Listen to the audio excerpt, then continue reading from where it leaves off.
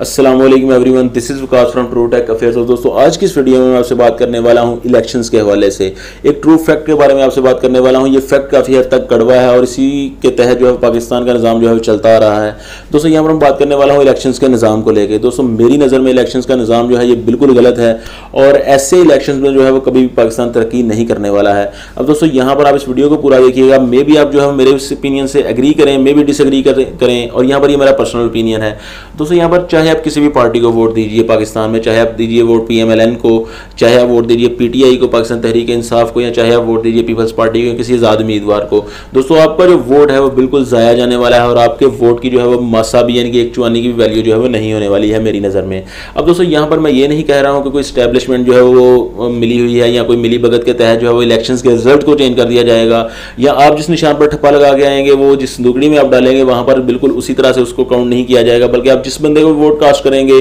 وہ ووٹ اسی کے کھاتے میں جائے گا۔ کاؤنٹنگ یہاں پر صحیح ہونے والی ہے۔ رزلٹ بھی جو آپ کو دیکھنے کو ملیں گے، وہ بھی صحیح ملنے والے ہیں۔ ایسا نہیں ہے کہ یہاں پر کوئی داندلی باندلی کا کوئی سین ہے میری نظر میں۔ لیکن دوستو، یہاں پر میں کہنا یہ چاہ رہا ہوں کہ جس طرح آپ نے دیکھا کہ پچھلے دنوں میں میاں محمد نواز شریف کو جو کہ پاکستان مسلم لیگ نواز کے بیسیکلی فاؤنڈر تھے، ان کو نااہل قرار دے دیا گیا۔ اس کے علاوہ اگر بات کی جائے پی ٹی آئی کی، پاکستان تحریک انصاف کی، تو وہاں پر جہانگیر ترین کو، اس کے علاوہ پیپلز پارٹی اور اس طرح کی دوسری پارٹیز میں بھی کافی زیادہ ایسے بندے جو ہیں ہمارے سامنے آئے، جن کو کہ سپریم کورٹ آف پاکستان نے نااہل قرار دیا۔ یعنی کہ یہ بندے الیکشن میں کمپین میں یعنی کہ الیکشن لڑ ہی نہیں سکتے ہیں، اہل ہی نہیں ہے الیکشن لڑنے کے۔ اب دوستو، لیکن یہاں پر کبھی بھی کسی بندے نے جو ہے، وہ اس چیز پر زور نہیں دیا ہے کہ پاکستان میں جو بندے ووٹ کاسٹ کرتے ہیں، ہم جنہوں نے ان امیدواروں کو اسمبلیوں میں پہنچانا ہوتا ہے، ان میں سے کون بندے اہل ہیں ووٹ دینے کے اور کون بندے نہ اہل ہیں ووٹ دینے کے؟ فار ایگزامپل دوستو، اگر یہاں پر ایک ویل ایجوکیٹڈ بندہ پاکستان کے مستقبل کو دیکھنے والا بندہ جو ہے، وہ اپنا ووٹ کاسٹ کرتا ہے، بڑی سوچ سمجھ کے بعد، بڑی غور و فکر کے بعد، اور وہیں پر دوسری طرف ایک ان پڑھ بندہ ہے، جسے کوئی بھی بندہ جو ہے، وہ بریانی کی پلیٹ کھلا کے یا بس ایسے ہی کسی بھی طرح سے جو ہے، وہ ووٹ کاسٹ کرنے کے لیے تیار کر لیتا ہے، تو وہاں پر ان دونوں ووٹس کی ویلیو کیا ہوگی؟ یعنی کہ ایک پڑھے لکھے بندے کا ووٹ ایک ان پڑھ بندے کے ووٹ کے برابر کبھی بھی نہیں ہو سکتا ہے، لیکن یہاں پر پاکستان میں اسی طرح ہی ہے، یہاں پر نہیں دیکھا جاتا ہے۔ کہ پڑھا لکھا بندہ جو ہے اس کا ووٹ بیسیکلی کیا اہمیت رکھتا ہے اور ایک ان پڑھ بندے کا ووٹ کیا اہمیت رکھتا ہے؟ حالانکہ یہاں پر ہر معاملے میں جو ہے وہ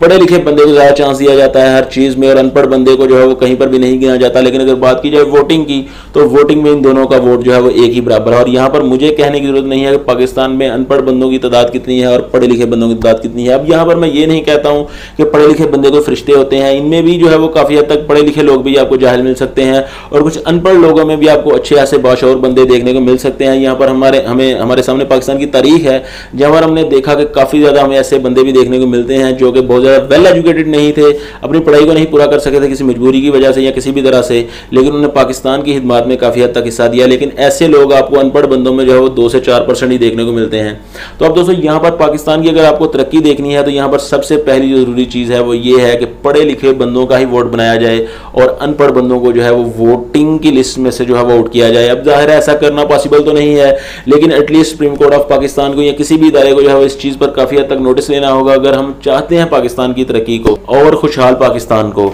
تو ہمیں جو ہے ووٹنگ کے نظام کو چینج کرنا ہوگا۔ اگر ہم اپنا صرف ووٹنگ کا نظام ہی صحیح کر لیں، درست کر لیں، تو ایسے میں چلتے ہوئے جو ہے وہ کافی حد تک ہمارے ملک میں جو ہمیں تبدیلی دیکھنے کو مل سکتی ہے۔ اب اگر بات کی جائے ووٹنگ کی، تو آپ نے دیکھا ہوگا کہ ڈھائی سے تین لاکھ اگر ایک علاقے میں ووٹ ہیں، تو یہاں پر صرف چالیس پرسنٹ لوگ ہی بیسیکلی ووٹ کاسٹ کرتے ہیں۔ اور ووٹ کاسٹ کرنے والے بھی جو بیسیکلی زیادہ ویل ایجوکیٹڈ پرسن ہوتے ہیں، وہ تو ووٹ کو کاسٹ ہی نہیں کرتے ہیں، کیونکہ وہ جانتے ہیں ہمارا ووٹ جو ہے وہ کسی بھی کھاتے میں نہیں جانے والا ہے۔ تو ایسے میں چلتے ہوئے نہ تو اچھی طرح سے جو ہے پوری طرح سے ووٹ کاسٹنگ ہوتی ہے اور نہ ہی جو ہے وہ صحیح لیڈر ہمارے سامنے نکل کے آتا ہے۔ ان شارٹ اگر میں کہوں تو میرا کہنے کا مقصد یہ ہے کہ کبھی بھی ایک ویل ایجوکیٹڈ بندے کا ووٹ ایک ان پڑھ بندے کے برابر جو ہے وہ نہیں ہو سکتا ہے۔ اب جو پیچھے ہونا تھا وہ تو ہو چکا لیکن ہمیں کوشش یہی کرنی چاہیے کہ کم از کم کم از کم جو تعلیم کا نظام ہے، کم از کم جس بندے کا بھی ووٹ بنے، اس کی تعلیم کم از کم میٹرک ضرور ہو اور میٹرک سے کم تعلیم والے بندے کا ووٹ نہ ہی بنایا جائے۔ دوستوں اگر اس طرح کچھ رول جو ہم امپلیمنٹ کر دیے جائیں تو ایک تو یہ ہے کہ ویل ایجوکیٹڈ بندوں کا ووٹ جو ہے وہ کاسٹ ہوگا اور دوسرے نمبر پر یہ ہے کہ لوگوں میں بھی تعلیم کی جو ہے وہ کافی حد تک آگاہی ہو سکتی ہے، کیونکہ ہر بندے کو احساس احساس ہوگا کہ اگر ہمارے بچوں نے ایٹ لیسٹ میٹرک بھی نہیں کیا، تو ان کا تو ووٹ بھی نہیں بن سکے گا، ان کا مستقبل کیا ہوگا پاکستان میں۔ تو ایسے میں کافی حد تک تعلیم کو بھی بڑھاوا مل سکتا ہے۔ اور دوستو، کیا ہی اچھا ہو اگر ہماری میٹرک کی کتاب میں ایٹ لیسٹ ایک چیپٹر ایک ایسا لیسن جو ہے اسے ضرور انکلوڈ کیا جائے، جہاں پر اسٹوڈنٹس کو جو ہے وہ آگاہی فراہم کی جائے کہ ووٹنگ کا نظام کس طرح سے ہمیں جو ہے وہ ووٹ کاسٹ کرنا ہے۔ یہاں پر اسٹوڈنٹس کے مائنڈ میں کچھ کنسیپٹس جو ہے وہ کلیئر ہونے چاہیے کہ کس طرح سے جو ہے بیسیکلی ووٹ کاسٹ ہوتا ہے۔ ممبرز آف نیشنل اسمبلی کتنے ہوتے ہیں ممبر آف پروونل اسمبلی کتنے ہوتے ہیں سینیٹرز کی تعداد کیا ہوتی ہے، اور اس کے علاوہ جو ہے اسٹوڈنٹس کو ایک چیز کے بارے میں ضرور آگاہی کی دی جائے کہ جو uh, ووٹنگ کے دنوں میں یہ جو کینڈیڈیٹس آپ سے ووٹ مانگتے ہیں، یہ کس طرح سے آپ کو الو بناتے ہیں اور ایسے میں آپ کو کس طرح سے صحیح کینڈیڈیٹ کو پرکھنا ہے، آپ کو کسی بھی برادری کے تحت ووٹ نہیں دینا ہے، بلکہ آپ کو پاکستان کے مستقبل کو دیکھتے ہوئے، پارٹی کے منشور کو دیکھتے ہوئے کینڈیڈیٹ کے منشور کو دیکھتے ہوئے، کارکردگی کو دیکھتے ہوئے ووٹ دینا ہے۔ اور دوستو، اس کے علاوہ جو فیمیل اسٹوڈنٹس ہیں، یہاں پر سب سے بڑا ایشو یہ ہے کہ پاکستان میں آلموسٹ ففٹی پرسنٹ جو ہے وہ عورتوں کے ہی ووٹ ہیں۔ اور اگر بات کی جائے عورتوں کے ووٹ کی، تو عورتیں جتنی بھی پاکستان میں ووٹ دیتی ہیں، جتنی بھی فیمیلز پاکستان میں ووٹ دیتی ہیں آئی ڈونٹ تھنک سو کہ دس پرسنٹ سے زیادہ جو ایسی عورتیں ہوں گی جو کہ کسی منشور کو دیکھتے ہوئے ووٹ دیتی ہیں۔ بلکہ یہاں پر ایسا ہی ہوتا ہے کہ جس طرح سے کسی بھائی نے کہا، کسی بڑے نے کہا، کسی کسی عورت کے شوہر نے کہا، وہ وہیں پر جو ہے وہ ٹھپا لگا دیتی ہے۔ بالکل